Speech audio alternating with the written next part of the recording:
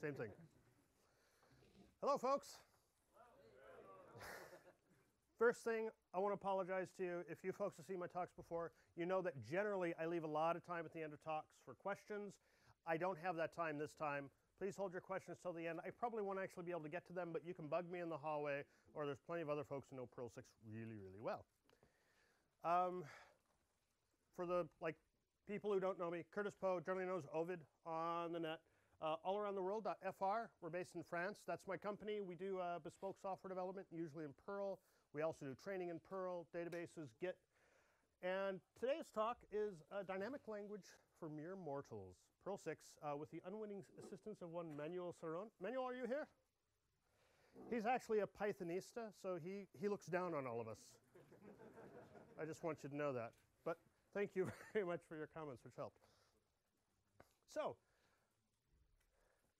if you wanted to learn how to drive a car, you might be interested in car, maybe you don't know much about them. I have a couple of friends of mine who are race car drivers, and you can ask them about this.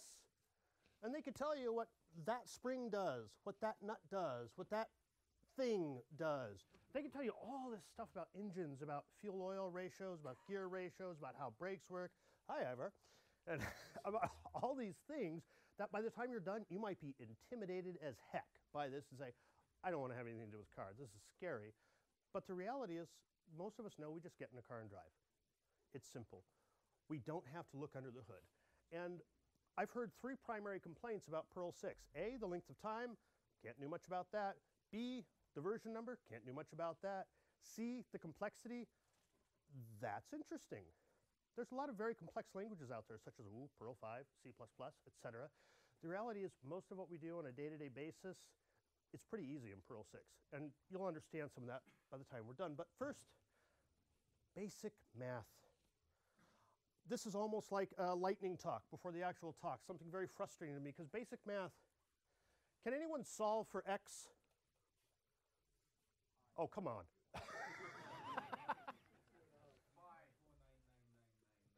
okay, forget about computers. Forget about computers. What is the value of x in this equation? What, what would your teacher have graded you on?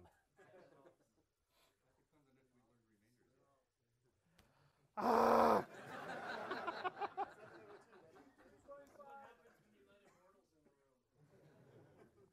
okay, so since you folks are a little slow, x is 3.5. We know that. We know that. Uh, Ruby doesn't think so. Python 2 doesn't think so. Tcl doesn't think so. BC is a wonderful tool. It's an arbitrary precision calculator built into many systems, and it says three.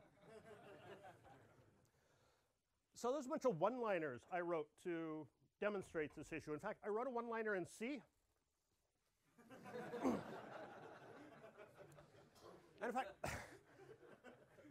here we actually get a warning about this, but no, C's type system sucks. C does not give us a warning. The compiler gives us a warning because, well, percent %f in the format. That says double, but it expected an int. What's up with that? We switch that. OK, fine. We got the 3 again. Purpose of software is to help humans. It is not to help computers. I've actually argued with people. They've told me, no, 3 is the correct answer because integer operand integer gives an integer. No, it does not. We know it does not. So always keep that in mind when you're thinking about software. Stop, stop forgetting about what the computer does. Stop, stop for thinking about the limitations of the computer. Think about what do I need as a human in order to solve my problems.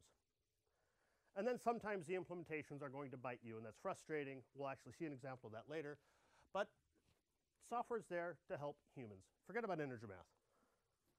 So we know Perl 5 actually gets the right answer in this case. So you know 7 divided by 2 in integer math gives you 3. What does negative 7 divided by 2 give you?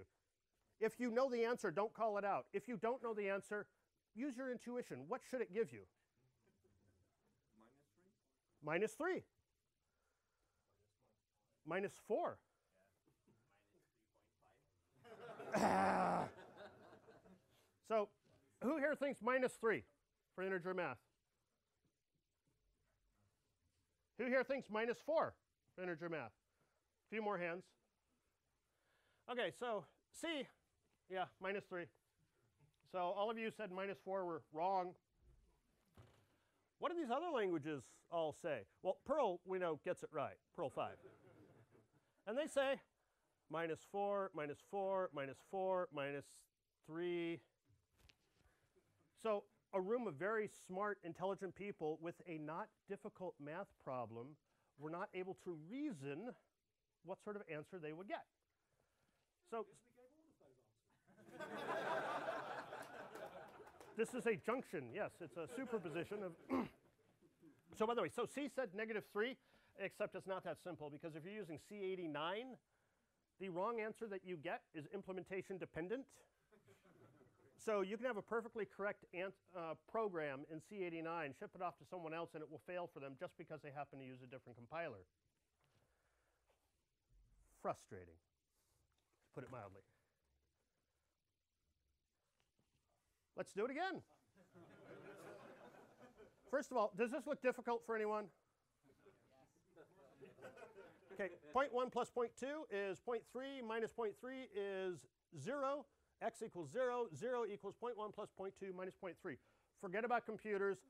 Would your teachers in math class have said this is correct? Yeah. What does Perl think about this? That's a very small number. but it's, it's, it's not a small number in one sense because if you think about it in terms of math, there's infinite in number theory, there's infinite many numbers between that and zero. In fact, in terms of something called Aleph null, there's as many numbers between that and zero as there are be between 18 quadrillion and zero. Zero, we know, has special properties. So 1 divided by 0 is 18 quadrillion. That is an exceptional number. That is not an exception. Or let's multiply the ma mass of the sun by 0. That's 110 kilogram, 110 trillion kilograms, or as Enrico Fermi would tell us, roughly the size of Mount Everest. Yes, as all of you have suspected, Mount Everest is nothing more than a floating point error. and other languages tend not to do any better, you know, Ruby, Python 2, um, Tcl, BC. BC actually gets this right, but considering that it can't figure out 7 divided by 3, you know, it's not very reassuring and Perl 6 says 0. If you're wondering what's going on, it's like, ooh, he just pulled a rabbit out of a hat. so floating point numbers, basically, the way this is typically done in computers is they estimate the number that comes after the decimal point. You have reciprocal powers of 2, which wind up getting added up, the 1, 0, 0, 1, et cetera, to estimate what that number should be, to approximate what that number should be. And there's many things you can't get exact uh, which is why 0.1 plus 0.2 minus 0.3 can't quite add up to 0 in floating point math. Perl 6 gets it right. How does it do this? I talked about the engine looking under the hood. Most of the time in this talk, I, I don't want to look under the hood. But this time, just to give you a little peek of what's going on. So here we've got divide by 0, which is, you know, we've got an exception, exactly what we want. If you just type Perl 6 at the command prompt, hit return, you're dropped into a simple REPL. Perl 6, everything's an object, so you can call methods on them. There is the what method, which says it's a rat. It's actually, that means it's a rational number. There's a role called rational, which is why they can't call it a rat. So it has a numerator, 3, a denominator, 10. Nude is a method on rational numbers, which returns a list of the numerator and denominator.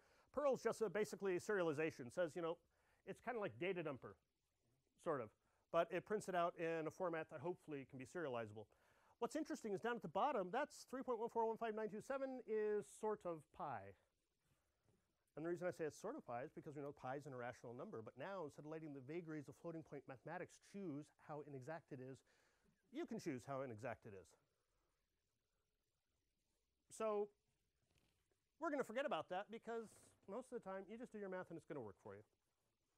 Going to work nice and cleanly the errors you see on Stack Overflow, why didn't this work? Why couldn't I compare those floating point numbers? Why couldn't I divide these and you know get the right answer? All tiny little things like that, gone. Not all the time, but Perl 6 tries really, really hard to be a language for humans, not for computers. But instead, I'm going to talk about functions. Yes, reciprocal is a stupid function. This is someone who got really carried away with the idea of don't repeat yourself. but the reason I'm going to talk about functions is one of the most common classes of errors we have in computer programming languages today is that different pieces of your program have to talk to each other, which means generally you have to have pass data back and forth. And you can unit test everything to death, but if you don't integration test, if you don't test how things talk to one another, you're, you're going to find all sorts of bugs. But you can't test exactly how everything talks to each other all the time because you've got the path problem, et cetera. So it's really nice if you have good control over what you're actually getting in there.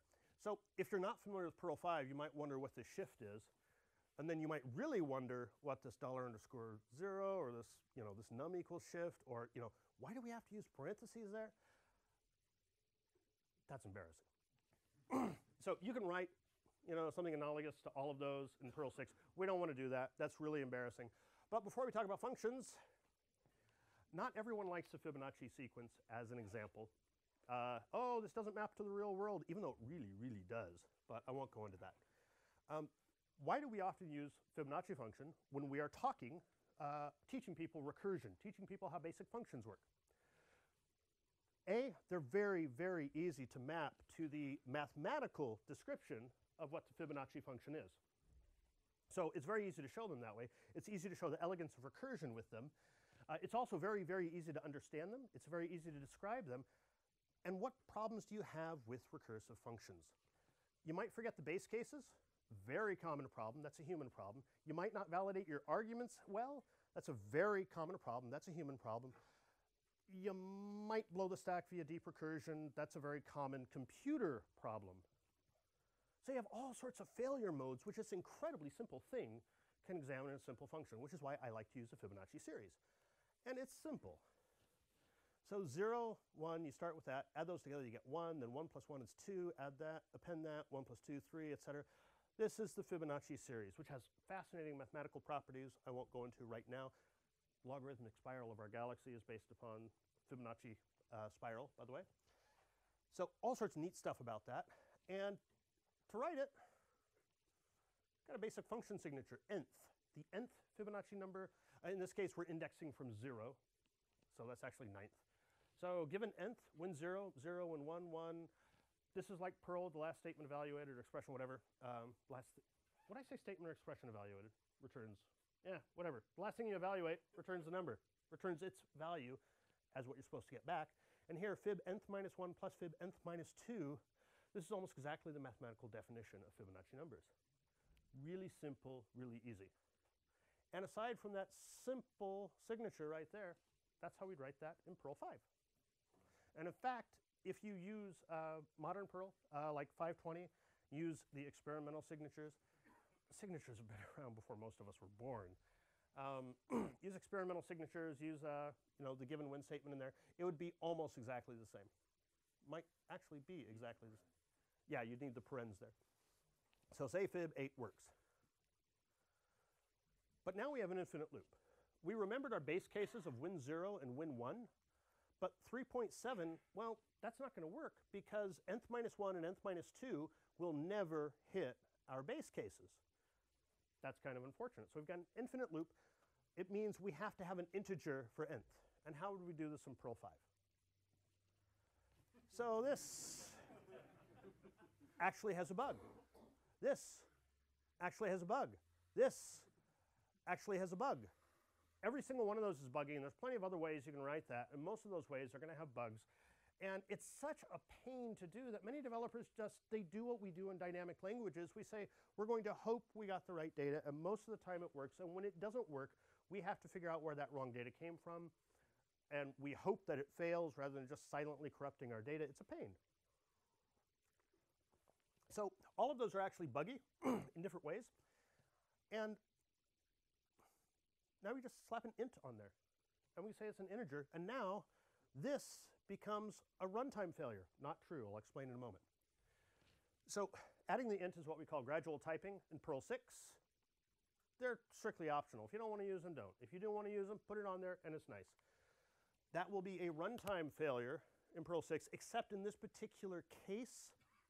So win 0, 0, how does it know what win 0 means? Internally, as I understand it, what happens is it calls the dot what method on zero, says it's an int, which must have the value of zero. So you could actually supply a subclass of int, and I imagine it should still work. And then for one, it does the same thing, calls dot what, figures out it's an int, an int which must have the value of one, so it knows to call this one or here. Here, when it checks this, because this is hard coded, it's going to call dot what on 3.7. It's going to see the signature can't possibly match an int. This is actually a compile time failure. That code, it's not possible to run this code. It doesn't make any sense. You can't do it. So Perl's going to say no. This is what we call type inference. A magical thing. It's a magical thing, but it's simple. But it's still not there because now we can call negative 3. So negative 3 is going to be an infinite loop because the minus 1 and the minus 2 are never going to hit our base cases. So we just get a subset. Constraint type check failed for parameter nth negative 3. So what is this? Where star? The asterisk is an example of uh, the whatever class. And I like to read that generally as whatever I got. Int nth where whatever I got greater than equal to 0. You can't pass in a negative value because you'll get a constraint type failure. But, you know, this is actually getting kind of clunky here. Int nth where whatever I got greater than equal to 0. What if you have multiple parameters being passed to this sub? That's going to be frustrating. So you pull it out into a subset. Subset, non-negative int of int where whatever I got greater than 0, greater than equal to 0. And then we just declare this as a non-negative int nth. In other words, basically declare your own types on the fly with an easy to read syntax and use them where you need them. Does this look like rocket science to anyone? Does this look to anyone in this room like it's so mind-bendingly complicated that it's just not going to fly?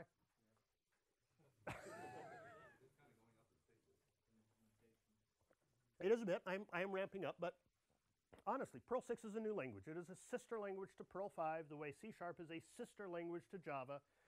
And I mean that in terms of also quality. That's really not hard. You do have to learn how to read a new language, but that's simple. And then we get the constraint type failure. So signatures. For popular dynamic languages, I'll just call those dynamic languages after this. You know, mainly we're talking about Ruby, Python, JavaScript, whatever. You get maybe, depending upon the language, one through four. Optional, entirely optional. Basic ones, you just name the variable default. If you don't pass in foo, it'll have the value of three. Named variables, you put a colon in front of that, and then you call it by name, you know, name, arrow, value. Or there's another syntax for that, which I won't go into right now. Um, gradual typing, we can slap a boolean on there. That's got to be a boolean value you type in, or else boom, you pass in or boom. And then sub-constraint string name where whatever we got, car is greater than zero. so the last two generally aren't available in the popular dynamic languages but they're really easy in Perl 6 and optional. The last one, I really like that last one. That uh, this particular constraint, subset non-empty string of string where whatever we got cards greater than zero. I hate, hate, hate all the time expecting to get a string and I have to check to see if it's an empty string. Here, I'm just writing my own type on the, oops, my own type on the fly saying this better not be an empty string and I just declare it there. I don't have to write a class. I don't have to jump through any hoops. I don't have to remember to check anymore, do I actually have data in this string? And this is a common problem across many programming languages, not just you know, the dynamic ones. And I know dynamic, static, rather loose, but bear with me on that. So I also think, uh, by the way, this I think will be the most popular subset declared in Perl 6, some variant of this to make sure you're getting non-empty strings. But I like this one. Subset first name of string where zero is less than whatever we got cards, less than 256, sub first name, blah. That, I suspect, will be very popular in ORMs where you need to map your types directly to the constraints the database will allow. So if you have MySQL and you're not in strict mode or better and it has this nasty habit of truncating your data, don't worry, Perl 6 will protect you.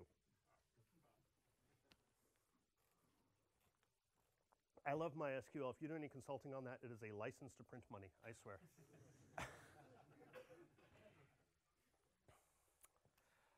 but it's slow. You start hitting Fibonacci numbers in the 20s and on up, uh, particularly like 25. Uh, this really slows down to the point where it becomes unusable because we're blowing the stack with deep recursion.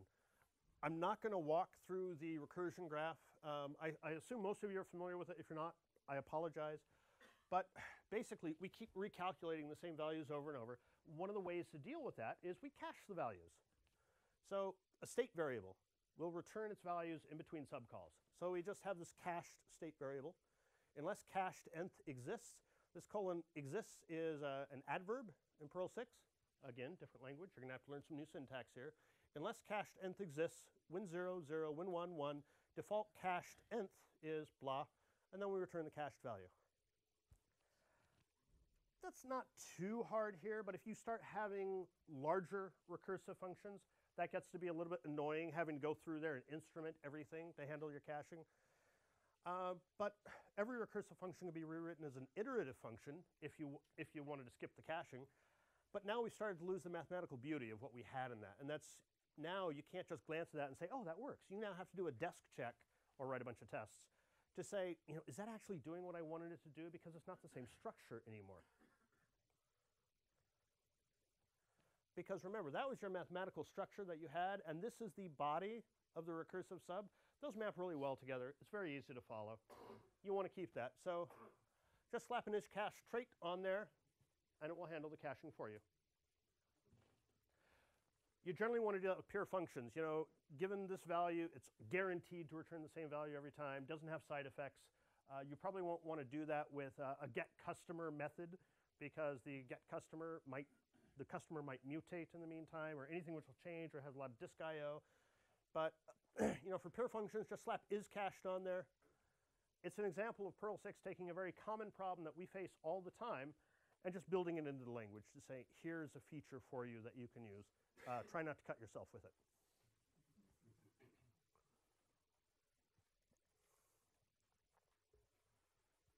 So first of all, is, is everyone with me so far? yeah, this, this is not hard stuff. Most of this is basic. I'm just showing you how Perl 6 does it. So a lot of you folks know that I'm writing a, a text-based MMORPG in Perl.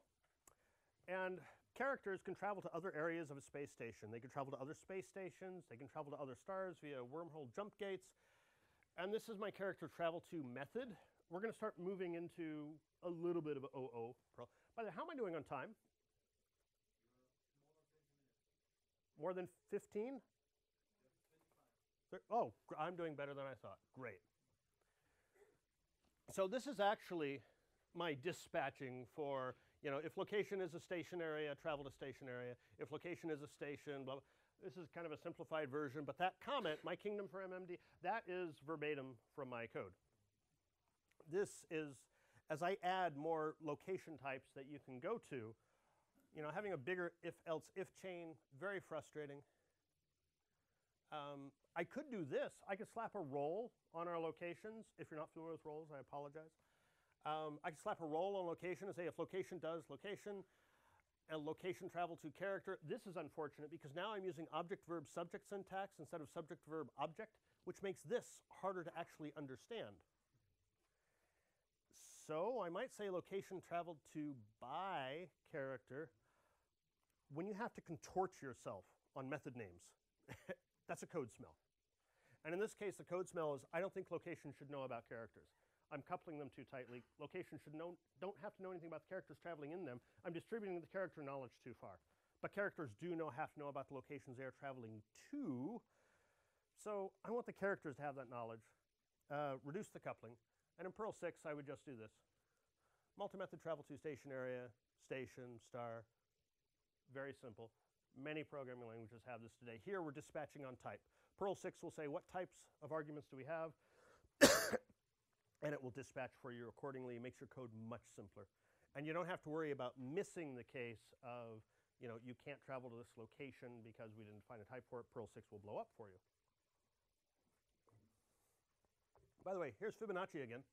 You could have written this as multi-subs, fib0, fib1, multi-sub fib. I should have had an is cache trait in there, but I wanted this to fit on the slide.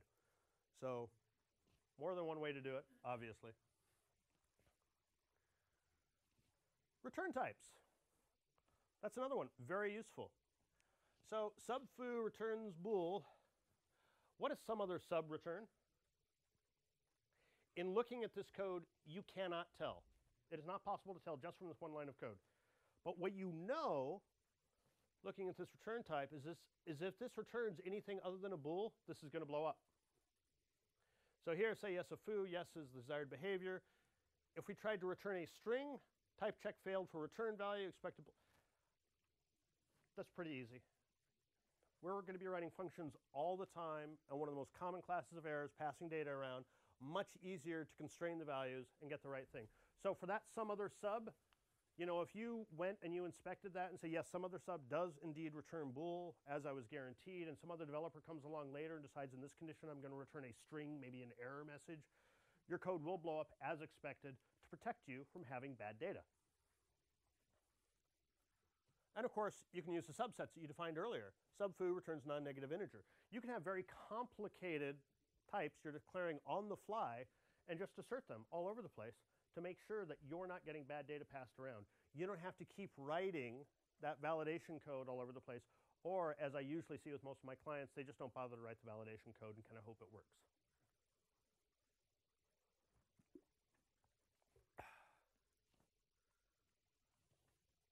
Now we're, I talked about methods a little bit.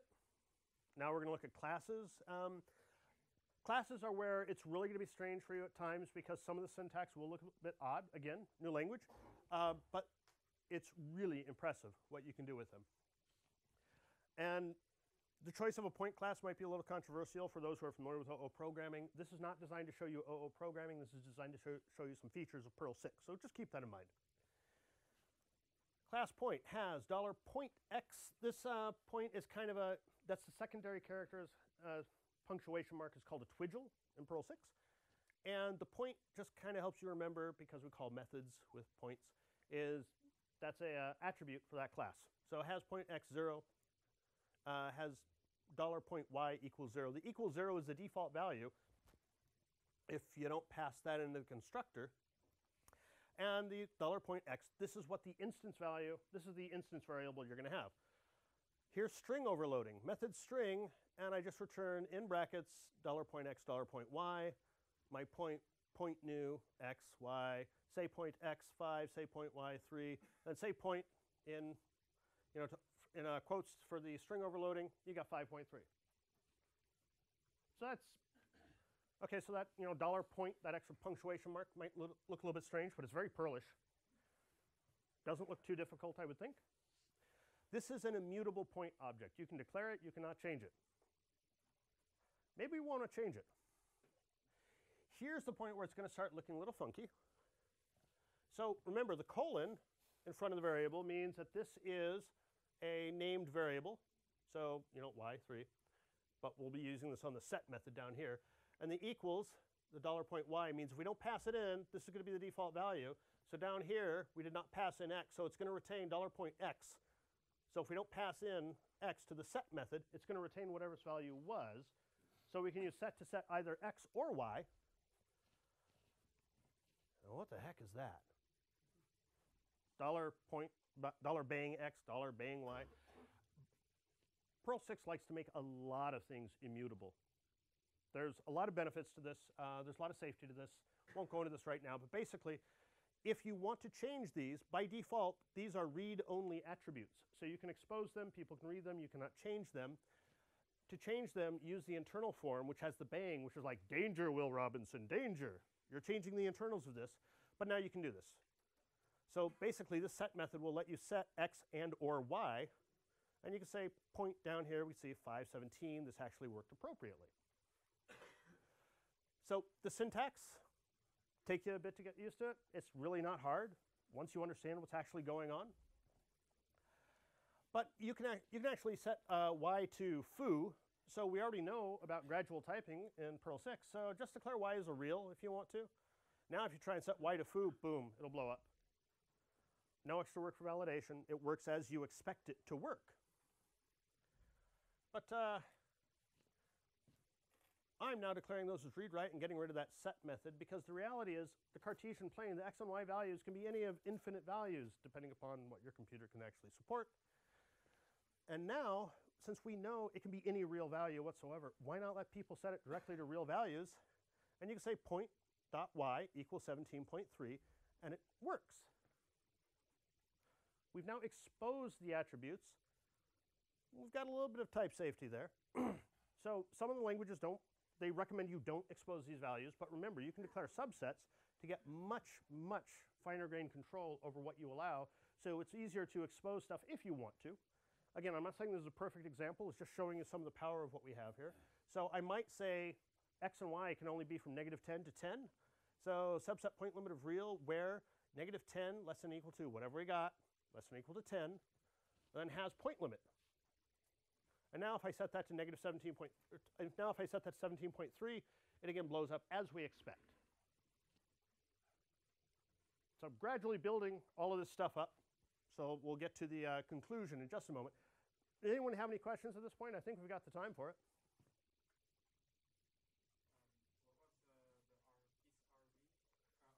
I'm sorry, that means it's read write now. My apologies, I probably glossed over that too fast.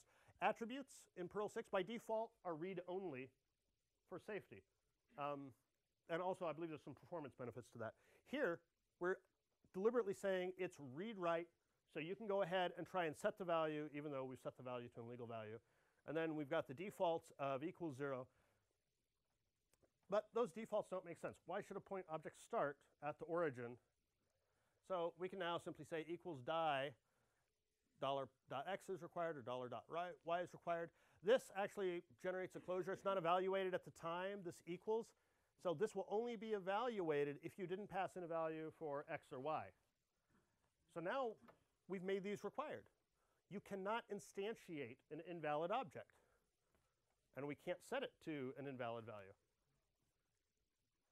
But here I'm doing negative 10 dot dot 10 the dot dot's a range operator. Perl 6 is smart enough to realize subset point limit of real where negative 10 to 10 means the same thing as that version. So that's another way of writing that constraint.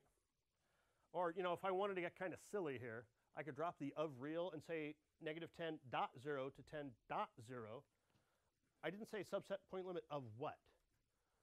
Perl looks at the point zero, looks at the hard-coded constants, and uses those to figure out what type we have, type inference.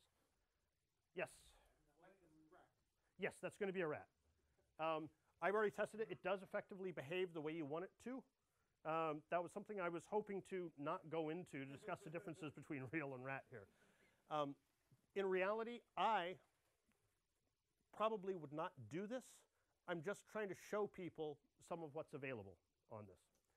Um, I would probably be a little bit more explicit and use the of real until I start feeling more comfortable with what's going on. Uh, I'll, I'll try and get to your question afterwards because I want to make sure. How, how am I doing for time actually?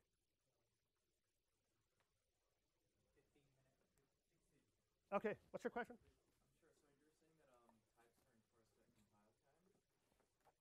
No, sometimes they're enforced to compile time. Uh, this, it's Perl. It's a late binding language.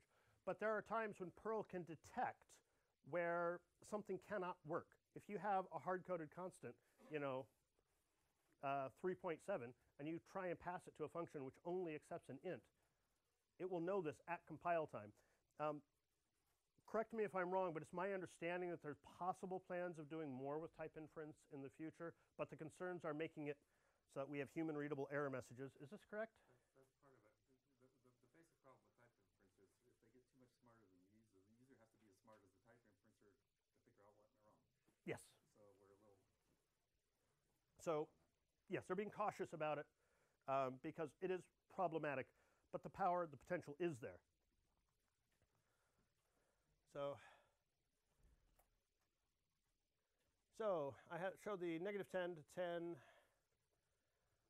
So here, I notice that here, I'm getting rid of the string method. I don't like this string overloading.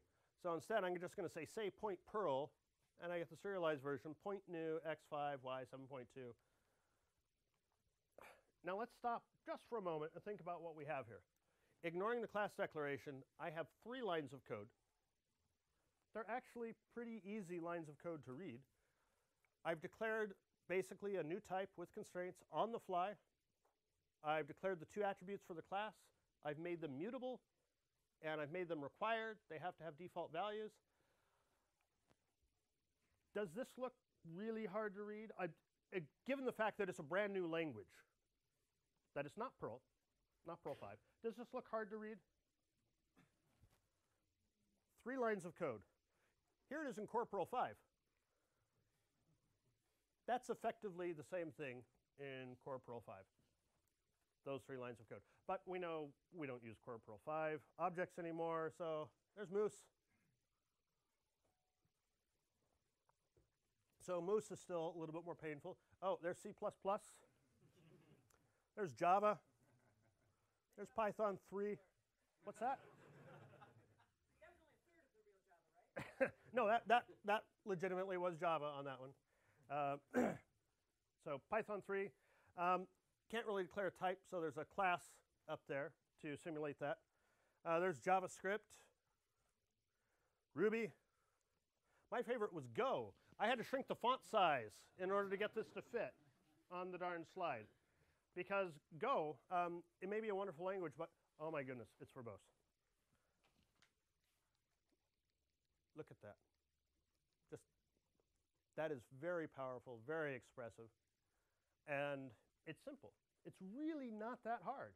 It's a new language. It's like if you don't know how to speak French, you're going to have trouble speaking French. I speak French, but not fluently. So occasionally I struggle when I read it, but I'm getting better. That's what happens with a new programming language. But nothing I've shown you is hard. And one of the hard, most painful classes of problems of passing data around is made so much simpler in Perl 6. So, oh, love that example. so for your day-to-day code, it is more correct and it's safer. You can actually enforce constraints easily on how you're passing data to and from functions all the time. Uh, this is part of the reason, incidentally, why a lot of static languages, I use the term loosely, uh, there's a lot of tests that they often won't write because they know they don't have to test what happens if that function return receives a string instead of an int because it's not allowed to. So there's a lot of declarative stuff you can bake in there, and there are fewer tests you'll have to write. So Perl 6, it, it really is large. There's, there's no question about that. A lot of people know about that. But it is a large language. So is Perl 5, so C++, so, so, so many others. Uh, but the common features that we often need on a day-to-day -day basis, particularly the things we fall down on, they're baked into the language. They're there for you. It has proper OO. I wish I could have dug into that a lot more, but we only have so much time. Uh, it actually is easy to read. Most of those examples, once you understand what's going on, they're not hard at all. and as I mentioned, it's safer, it's very powerful. There's all sorts of resources. You know, here's just a few of them.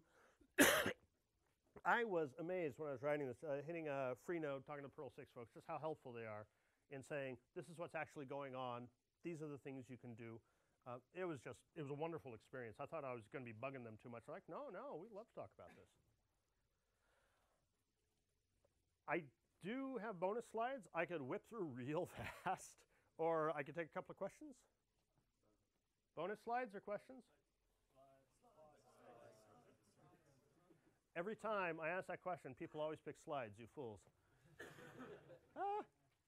So this is the part which tends to scare people. This is an infinite lazy list of, we're going to get all the prime numbers from 1 to whatever, basically infinity. And we're going to assign it to this constant primes. We can declare constants. It's going to be immutable. So say all the primes up to 10. We get all the prime number, the first 10 prime numbers.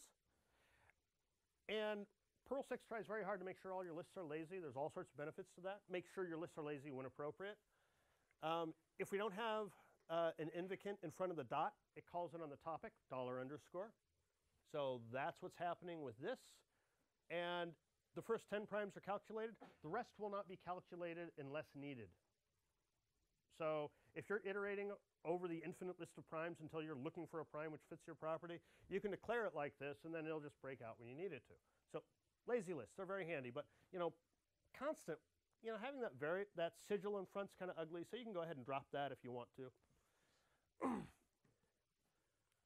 Here's a comment. How much time do I have left? Uh, oh, awesome.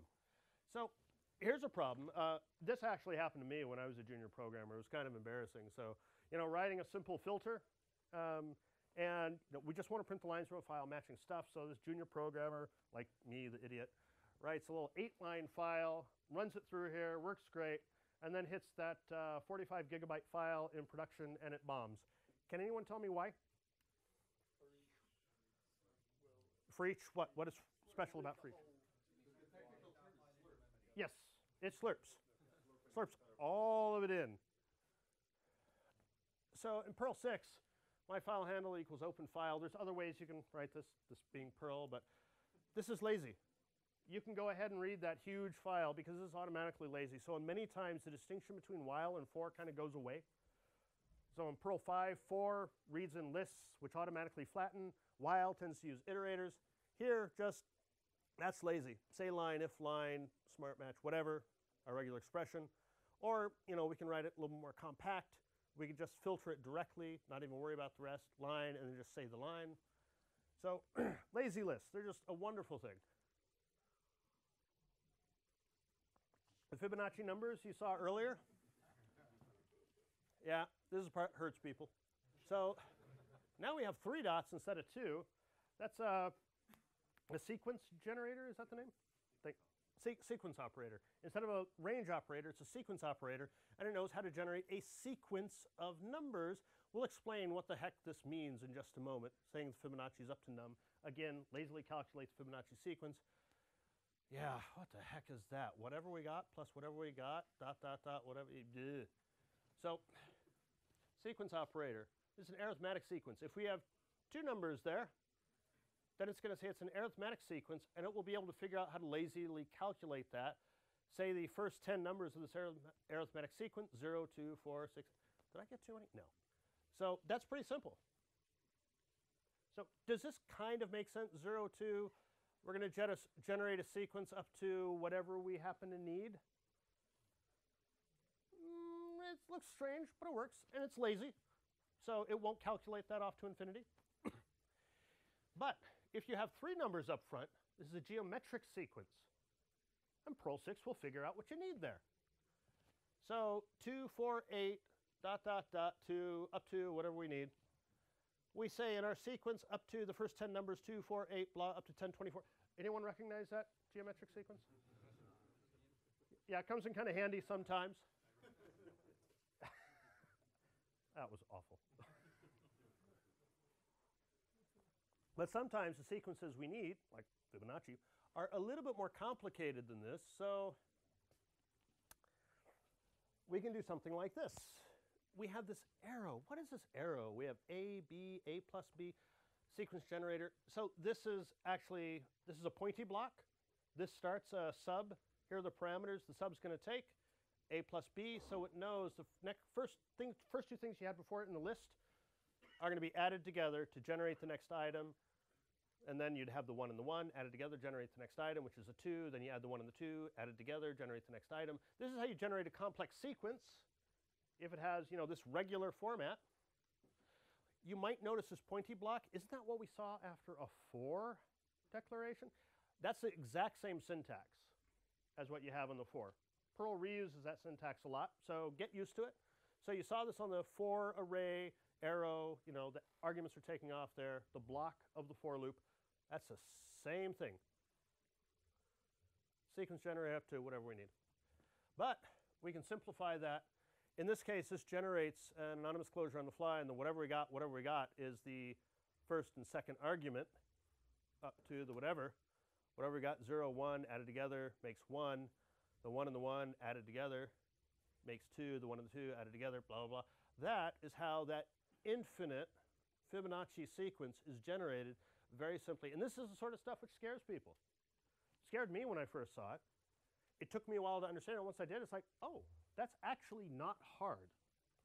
That's part of the language we're going to be learning about as we dive into it more, which we can't today, at least not with me.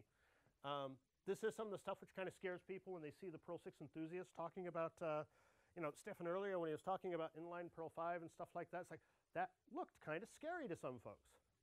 But day to day, I mean, it's wonderful stuff, but day to day, that's not what you're actually going to be using most of the time, or it's going to be abstracted away behind the scenes for you.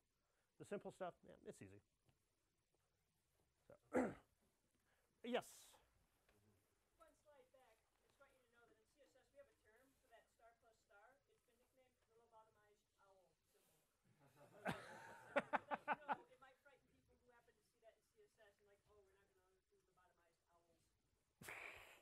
frighten Well, people who use CSS anyway are never mind. The the language stuff, as you said, it's safer and, and better. How stable is the runtime? Because that's going to be a big decision. What do you mean by how stable is the runtime? Stable has what? got Perl 5 daemons that run for over a year, don't leak memory, don't leak resources, keep working stably. I cannot comment on that. I'm talking more about the usage, but anyone else? I can't move to that if I can't trust that it'll keep running. That's the question. It gets more stable under Awesome. If you needed to run for a year, I probably wouldn't use Perl 6. Yes. I saw the is rw for and or is cached for function. Mhm. Are there new keywords? Those are uh, those are traits which you can apply to things which can modify their behavior. Um, it does look a little strange because you can say class dog is mammal and the term is is overloaded there. It might be a trait. It might be a parent class. Um, so that's one thing you'll have to get used to. But traits are something you can just slap on stuff and it can modify how their behavior is. And in fact, you can open up the source code. Most of it's written in uh, something called NQP, which is a little bit more dense, a little bit harder to understand, but you can actually read through them to see how they're implemented. Could you write uh, such traits in Perl uh, for your own uh, function?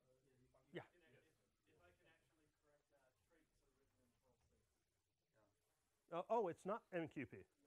Ah, I apologize. In fact, the entire core library is written in Perl 6. Thank you. Uh, do I have time for another question? Okay, yes. Yes. Constraints over multiple variables? Uh, Like I have a function squeeze that should take a, uh, an array of numbers and make sure that all the numbers are between a lower and upper bound, but obviously the constraint is that the lower bound has to be less than the upper bound. And any parameter can refer to a previous parameter in the, in the list. So, but every successive one has to be greater than the prior one. Yeah, that, that shouldn't be a problem because right there I have the star plus star. I'm assuming I can, it should be easy to put, you know, star less than star, put a constraint, and then modify it on the fly. But, or when I'm going back to the where constraints, yeah, that shouldn't be hard. I don't know the exact syntax of throwing the exception on that, but that shouldn't be hard. One point the subset point limit is now limited to this class point. It's not visible outside the class point. Is that correct? Uh, yeah, what's the scoping on that? Uh, the Scope is what? Well, um, subset. Subset. The In so it's probably an our scope. Is it our scope? Okay, I've got Types are, but. one minute left, so I think that's. Uh, does anyone have an easy question I can answer in 60 seconds or less? you have 55 seconds left. Yes, presumably there's a, a performance overhead from using rational numbers to uh, uh, represent numbers in terms. Yes, uh, Can, th- can you represent them as floating point if performance is important? Um, you can? You can foresight, just call it a real? Call it a num. Uh, call it a num? Okay. The, is the floating point type. Um, if you, um, okay, uh, if you use l- any literal that has e zero on it, it's automatic floating point. Um, it will, it will actually promote the floating point if the denominator exceeds sixty-four bits. Because you don't, you don't, usually the performance problems with rationals is that the denominator blows out a lot. And so we, we chop it off at sixty-four bits, pretty, pretty large denominator, because larger than that, we split the. Okay, thank you.